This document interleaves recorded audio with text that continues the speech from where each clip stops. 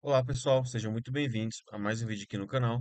Bom, no vídeo passado a gente juntou, né, os- todos os nossos fluxos que estávamos trabalhando aqui dentro do Tableau Prep e agora chegou a hora de mexer nessas tabelas de vendedores, notas e itens, ok?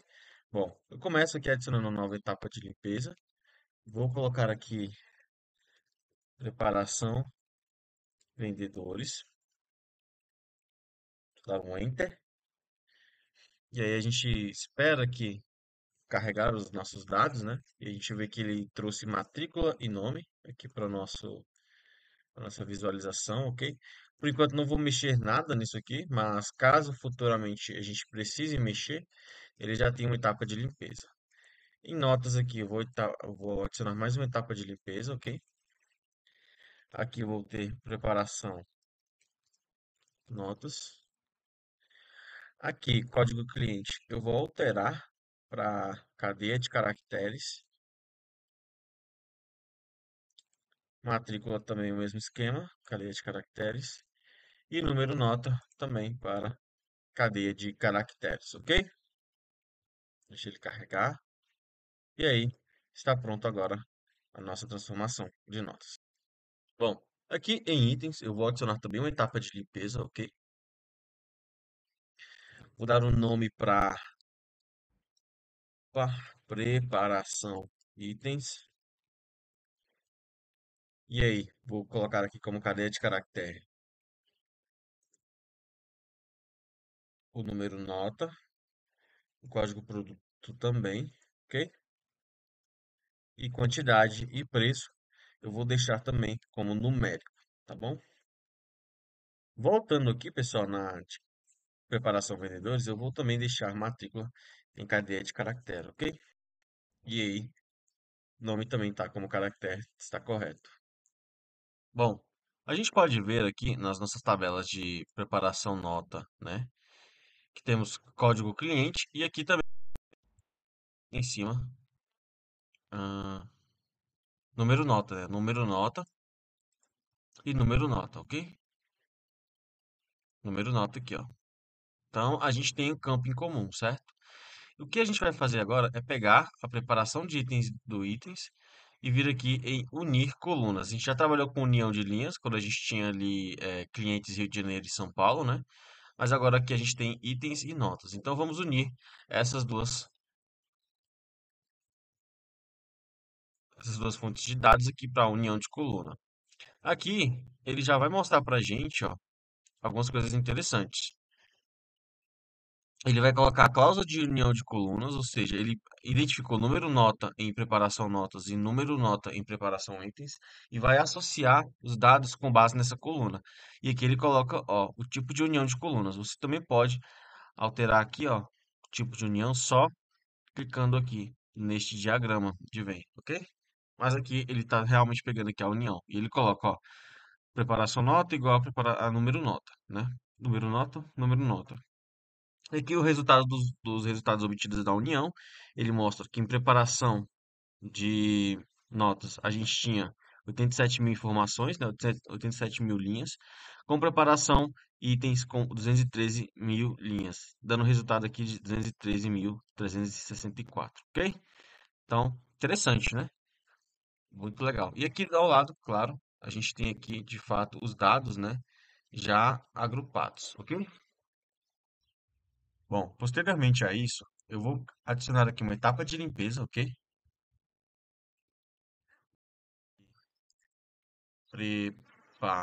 Opa, preparação, fato. Espera ele carregar. Eu vou ver aqui preço, quantidade, código produto.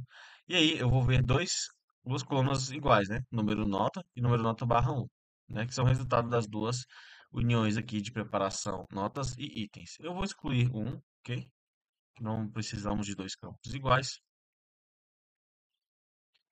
E aí ele já tem aqui a primeira alteração, número nota 1, ok?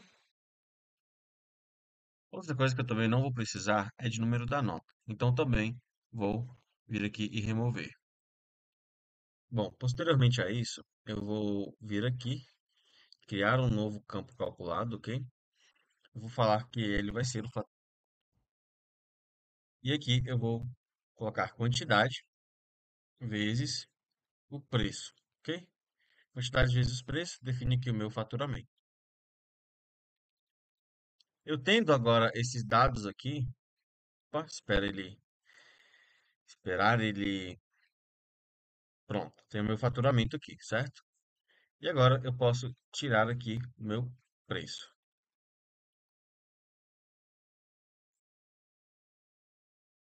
Posteriormente, eu vou clicar em mais uma etapa de agregação, falar aqui agregação, tabela fato, ok? E aí, ah, aqui nos, nos campos agrupados, né, eu vou colocar tudo que não tiver com soma, que não tiver como número decimal, ou seja, código do cliente, código do produto,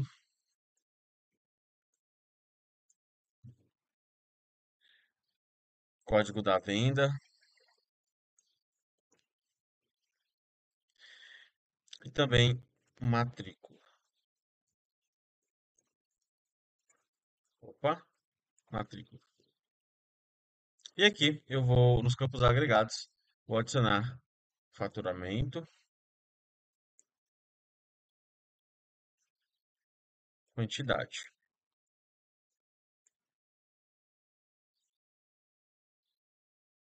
Repare que ele demora um pouquinho porque a gente já está trabalhando com uma quantidade considerável de linhas, né? Então aqui na minha máquina já começa a pesar um pouquinho. E para finalizar, também colocamos o número de linhas aqui, né? Esses meus campos somam. Bom, pessoal, aqui eu vou adicionar mais uma etapa de limpeza, ok? Vou colocar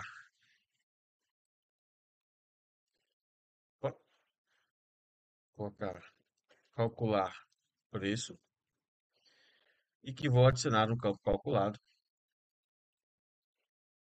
Opa, criar um campo calculado chamado preço. E o preço aqui vai ser dividido pela quantidade. Quantidade. Bom, consequentemente, isso eu tenho preço, né? Bom, aqui eu vou pegar agora a minha tabela vendedores, que nós estamos aqui, e vamos arrastar ela unida aqui na tabela fato. E aí, após esta união, a gente vê aqui, né, é, algumas decorrências, ok? Percebemos que temos aqui, continuamos com as nossas linhas, só que aqui, ó, 238 é de um vendedor que ele não efetuou nenhuma venda, né? Então, a gente acaba deixando ele aqui de fora. Então, por isso que tem esse campo excluído aqui, ok? E aqui, o mesmo ponto que eu tenho na, tabela vendedores é onde vai funcionar a minha exportação. Aqui eu vou criar um nome, um nome novo, que seria União versus Fato e adicionar uma etapa de limpeza para a gente excluir os restantes, né, de colunas que vieram juntos, né? Bom, aqui eu vou remover matrícula 1 e remover, né, o nome da minha tabela fato. Ela não vai precisar desse nome aqui, ok? Então vamos ficar apenas com preço, faturamento, número de linhas, código cliente, matrícula, data venda, código produto e quantidade. Próximo passo é pegar aqui a minha última coluna, minha última coluna não, fonte, que é o produtos, né? Ela lá para cima e vou unir aqui com a fato é, vendedores, né? Que nós utilizamos. Aqui eu vou colocar união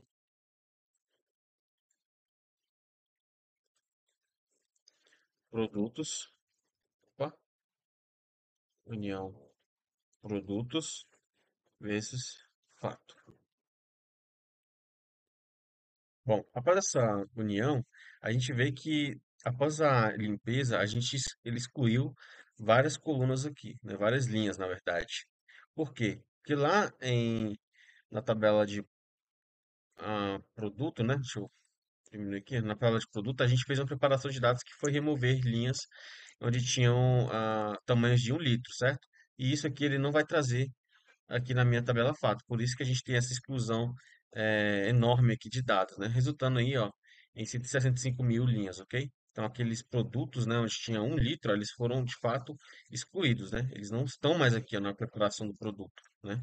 Então, por isso que temos essa limpeza aqui, nessa- na, junto com a união. Aqui no caso, eu vou adicionar mais uma etapa de limpeza, ok? E aqui a gente vai chamar de limpeza, limpeza de campos, ok? Nessa limpeza de campos, ah, a gente vai fazer, vamos ver quais campos vão permanecer, né? Apesar dos campos da tabela fato mesmo, então, é, marca que a gente vai tirar, ok? Tamanho também, deixa ele remover, vou tirar tamanho. Sabor também vou tirar.